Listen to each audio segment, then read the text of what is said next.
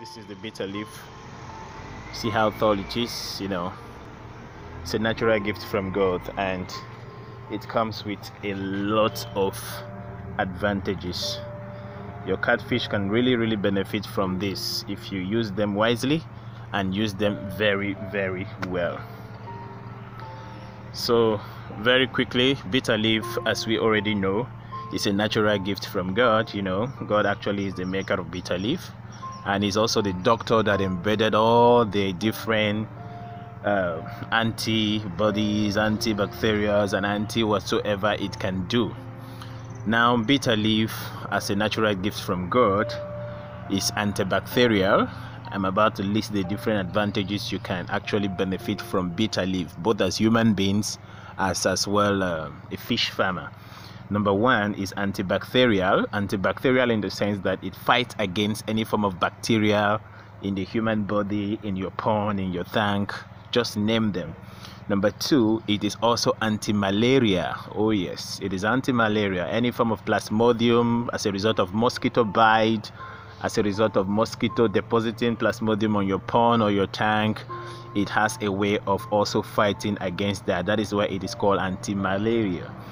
It is also anti-cancer. Oh yes, it fights against cancerous cells. Oh yes, very very important. That's one of the most adva- uh, beneficial advantages. You know, fine, fish may not suffer from cancer, but human beings do suffer from cancer. So if you consume bitter leaf on a regular basis, it has a long way of relieving you from cancerous cells in your body.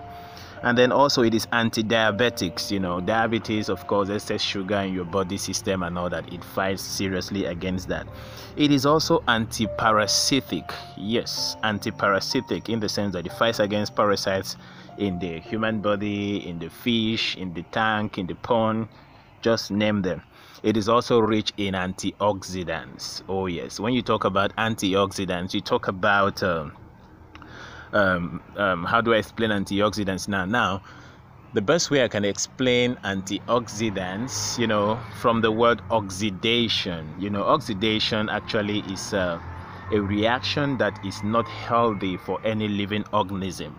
So it is antioxidant, antioxidant in the sense that it fights against oxidation. Now, one may wonder what actually is oxidation. Oxidation is actually a chemical reaction that leads to um, the formation of free radicals in a particular organism or in a particular uh, uh, um, uh, living thing, as so to say.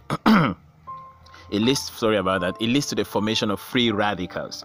When you talk about free radicals, free radicals are simply um, the formation of unstable atoms. From the word free radicals they are free they are unstable unstable atoms.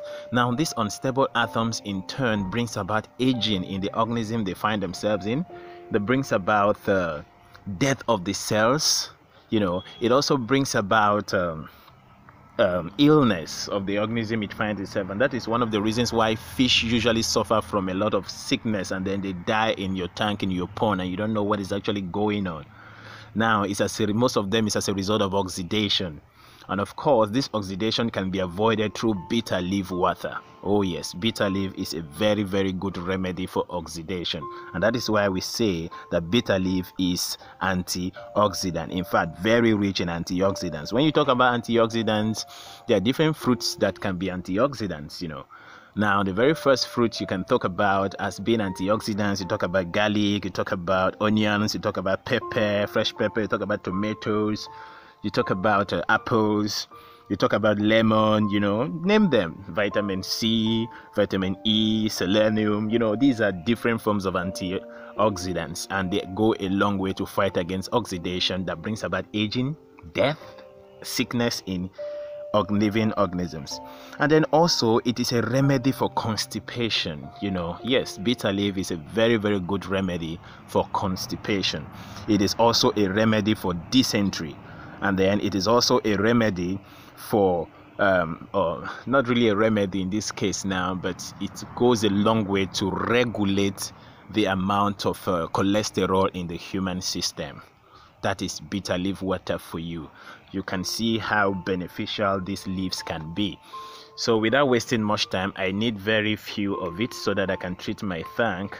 Because I have up to five different tanks I may need quite a lot but I will harvest the much I can and take them to my tank. Then I will show you how exactly one can use them to fight against sickness in your fish tank or your fish pond as the case may be